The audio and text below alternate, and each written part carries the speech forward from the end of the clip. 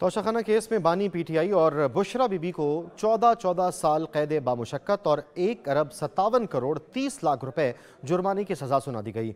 एहतसाब अदालत के जज ने मुख्तर फैसला सुना दिया। अदालत ने बानी पीटीआई को 10 साल के लिए किसी भी अवामी अहदे के लिए नाअहल करार दे दिया। फैसला बुशरा बीबी की अदम मौजूदगी में सुनाया गया।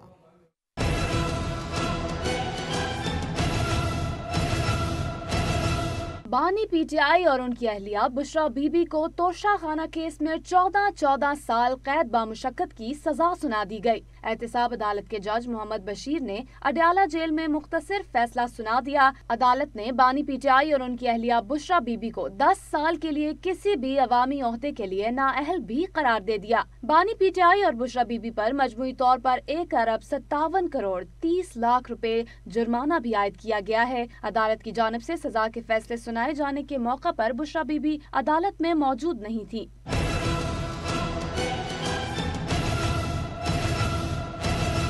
दौरान समाज जज मोहम्मद बशीर ने बानी पीटीआई से इस्तफसार किया कि क्या आपने अपना 342 का बयान जमा कराया है? बानी पीटीआई ने जवाब दिया कि मेरा बयान मेरे कमरे में है। मैंने बयान तैयार कर लिया है, उसमें कुछ रदो बदल करना है। अपने वकला के आने पर बयान जमा कराऊँगा, जिस पर जज ने रिमार्क्स दिए कि गुजश्ता रोज कहा गया कि सुबह नौ बजे बयान जमा करा दें। वकला ने अदालत से कुछ वक्त का टाइम मांगा, जिसे अदालत ने मुस्तरद कर दिया। बानी पीटीआई ने सजा सुनाए जाने के बाद जज से कहा कि आपको इतनी जल्दी क्यों है? मेरे साथ धोखा हुआ है। मुझे तो सिर्फ़ हाजिरी के लिए बुलाया गया था। बानी पीटीआई ये कहकर अदालत से उठकर चले गए। जज ने डिप्टी सुपरिंटेंडेंट को बानी पीटीआई को लाने की हिदायत की। जेल हुकाम ने अदालत को बताया कि बानी पीटीआई नहीं आए। वो कह रहे हैं, जब तक वकला नहीं आते, नहीं आऊँगा, जिस पर अदालत ने केस का टाइटल पुकारने की हिदायत की। बानी पीटीआई पुकार के बावजूद नहीं आए। एहतसाब अदालत के जज मोहम्मद बशीर ने अपने कैरियर में दो सबक वजरा आज़म को सजाएँ सुनाई। इससे पहले जज मोहम्मद बशीर ने नवाज़ शरीफ को 10 साल कैद बामुशक्कत का हुक्म दिया था। जज मोहम्मद बशीर खुद